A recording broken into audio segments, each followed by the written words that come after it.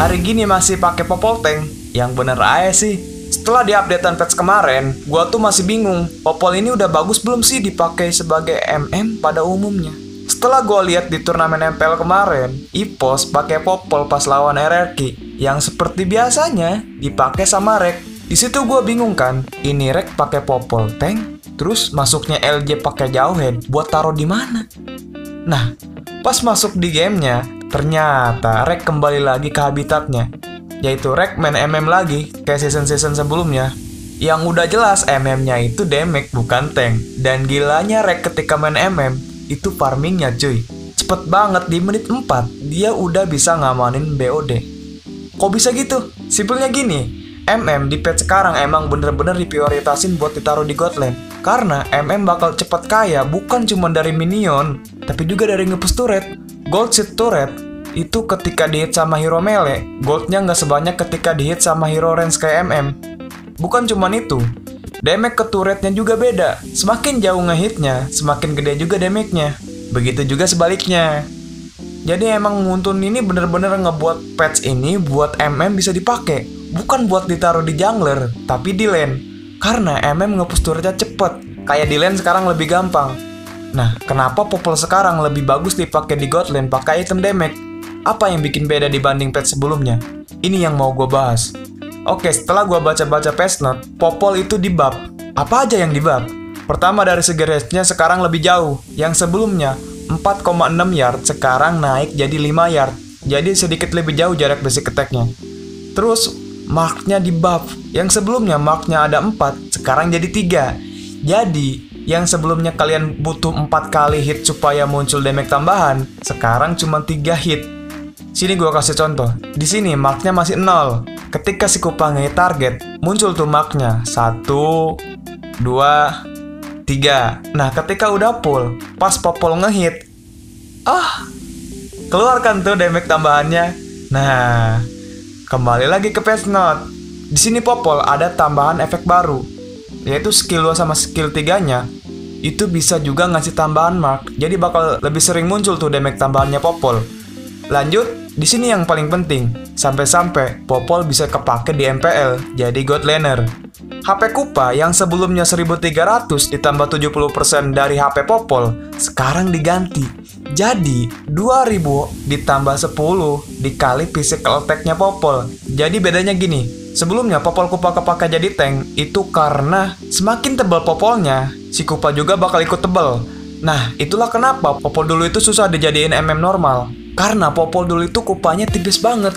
Percuma lu beli item damage banyak, gua tahu damage lu sakit, tapi kupa lu gampang buat mati. Yang harusnya Popol farming, ini masih sibuk manggil si kupa lagi, manggil si kupa lagi.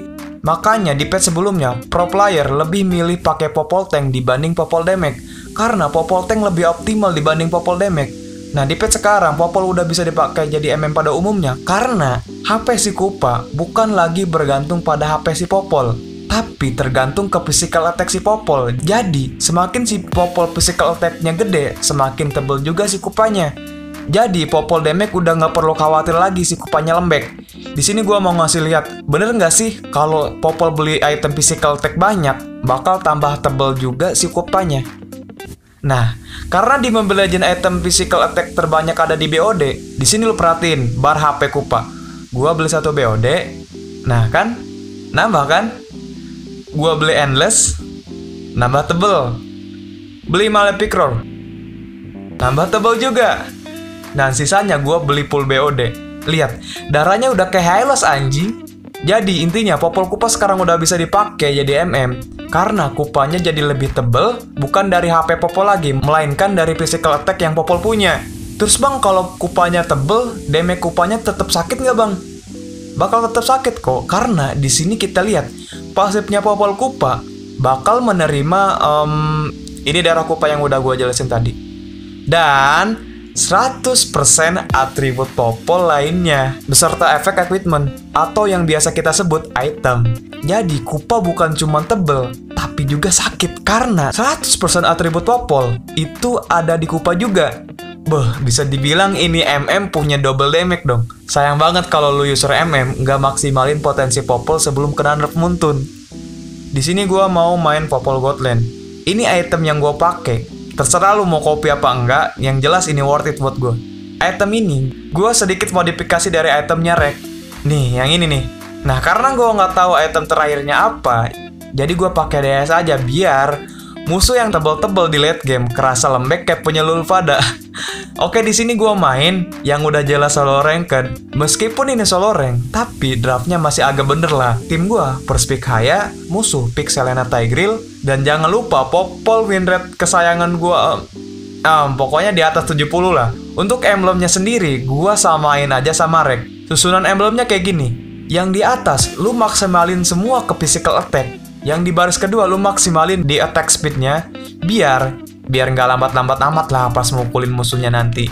Dan yang paling penting, gue pakai emblem Weapon Master. Kenapa gue pakai emblem ini? Karena gue tahu keuntungan pakai emblem ini apa.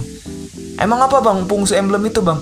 Emblem ini tuh buat meningkatkan physical attack yang diperoleh dari item sebesar 12%. Jadi misal, BOD kan physical attack-nya 160, ditambah 12%. Jadi BOD pakai emblem ini physical attack-nya jadi 179,2. Nah, terus ini juga ngaruh ke HP Kupa yang berdasarkan physical attack Popol tadi kan? Jadi untungnya pakai emblem ini buat ngemaksimalin pasifnya Popol Kupa. Di menit-menit awal, Popol ini usahain menangin lane. Karena Popol ini udah sakit dari karena si anjing ini. Nggak perlu mukil, yang penting ngecicil musuh sampai lunas. Dan ketika kalian bete ngelawan musuh set banget kayak gini, mending kalian ikut war. Yang di mana musuhnya ini rusuh banget sedangkan Popol itu seneng banget pak yang namanya rusuh-rusuh. Popol di early nggak rusuh nggak abdol pak rasanya. Dan ketika gue join war musuh udah pada bonyok. Dan ini jungler apaan coba? Takut sama Popol yang masih level 4 lu lihat kan Popol ini sakit banget cuy. Belum ada item padahal. Emang apa aja sih bang kelebihan ini hero ketika di lane cuma sendirian nggak ditemenin tank kalian Tenang aja, nggak perlu khawatir, buka map. Kalian pakai trapnya Popol. Jadi ketika musuh mau ngegeng kalian, kalian udah tahu duluan musuhnya udah ada di mana. Ketika kalian udah tahu musuh mau ngegeng kalian, ya udah kalian tinggal mundur aja gitu. Nah, ketika musuh mau ngegeng kalian selalu gagal, balik lagi untung ada di tim kalian. Tim kalian bisa dapetin objektif lain sedangkan musuh mau ngekill Popol aja susah. Jadi Popol ini enak banget buat open map. MM mana coba yang bisa open map? YSS? Terus? Udah kan? Tapi kalau YSS open mapnya cuma bentar. Kalau Popol, trapnya nggak dimakan aja, bakalan kebuka terus-terusan mapnya. Walaupun maksimalnya trap Popol cuma 3, tapi itu udah cukup banget buat open map. Jadi cocok banget nih hero buat kalian yang main solo rank. Jadi kalian nggak perlu lagi tuh yang namanya, oi mid drop JG. Oi mid info enemy missing lah, woi. Oi mid, oi, oi. Nggak, nggak, nggak, nggak perlu lagi yang namanya request backup, yang ada kalian yang malah bantuin war di mid. Yang kedua, yang bikin Popol enak banget buat dipakai. Karena Popol cepet banget buat ngepes turret. Kenapa bisa cepet? Selain dia MM, dia juga punya damage double. Karena Popol sama anjingnya ini damage-nya sama. Um, gak beda jauh lah. Yang ketiga, yang bikin Popol enak banget buat dipakai di meta sekarang karena Popol MM yang paling banyak skill CC. Pertama, pas Popol mode Sanin, skill 1, sisi buat nyerang.